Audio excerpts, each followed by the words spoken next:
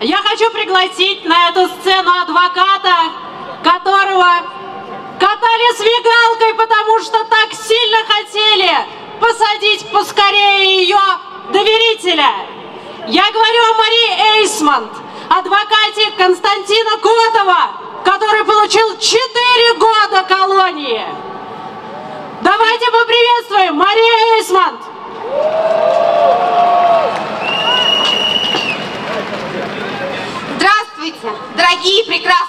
Свободные люди.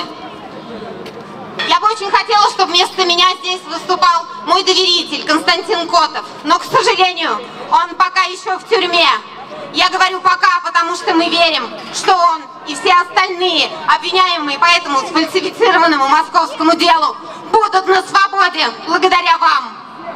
Все это лето мои коллеги и я практически каждые выходные мы проводили в отделениях полиции, куда доставляли автозаками людей, свободных, неравнодушных, которые просто вышли на улицы своего города, чтобы в мирном протесте сказать, что они хотят своего представительства в Московской городской думе. К ним приезжали следователи, их допрашивали по ночам. Многих потом судили и отправили в спецприемники, других оштрафовали.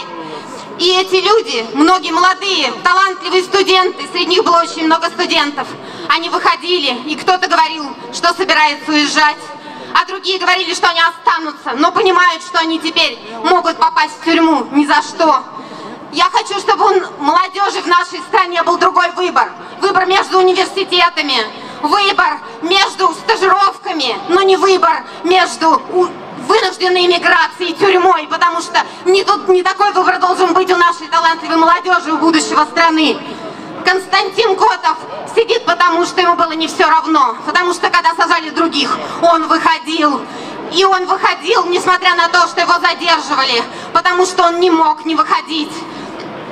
И, теперь по этой статье, по которой обвиняют Котова, по обвиняют Вячеслава Егорова, тоже моего доверителя, прекрасного, неравнодушного активиста из подмосковной колонны, который борется против мусора, против свалки, который угрожает детям в этом городе. Им и хотят привлечь по этой статье, Дадинская статья 212 прим.